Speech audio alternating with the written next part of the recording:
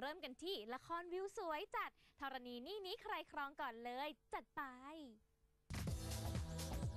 รียมปูเสือกัดหมอนรอกรีดกันได้แล้วล่ะค่ะสำหรับคู่ขวัญณเดชยายาในละครธรณีนี่นี้ใครครอง ที่เตรียมจ่อคิวลงจอให้ได้ชมกันเร็วๆนี้แล้วค่ะ งานนี้พระนางเขาต่างมาการันตีความน่ารักน่าหยิก แถมวิวสวยที่ผู้จัดพี่แหม่มทิติมาและป้าแจ๋วผู้กำกับ ทุ่มทุนขนกองถ่ายไปเก็บภาพสวยๆมาฝากแฟนๆทั้งเพชรบูรณ์เขาใหญ่และอีกหลากหลายสถานที่หลายจังหวัด แถมเรื่องราวกุ๊กกิ๊กโรแมนติกน่ารัก ให้ได้อิ่มอกอิ่มใจกับความรักของคุณย่าพี่อาทิตย์และน้องดารุณีท่ามกลางชีวิตชนบทพอเพียงอันสวยงาม และแก๊งเพื่อนๆตัวฮาที่ตบเท้ามากันแบบแน่นๆจอเลยค่ะ ใช่ธรณีจะ on air แล้ว ใช่คุณผู้ชมก็ได้ติดตามชมกันจะได้มีความสุขกับละครเรื่องใหม่ของเรานะครับผม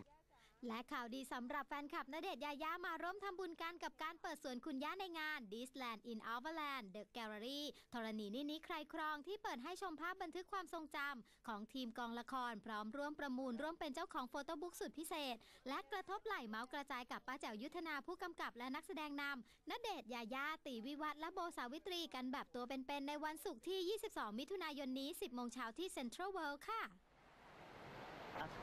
พี่ก็ได้ทำข่าว เราได้ไปที่สวยๆหลายที่มากทำไมไม่แชร์ให้คนอื่นได้ได้ร่วม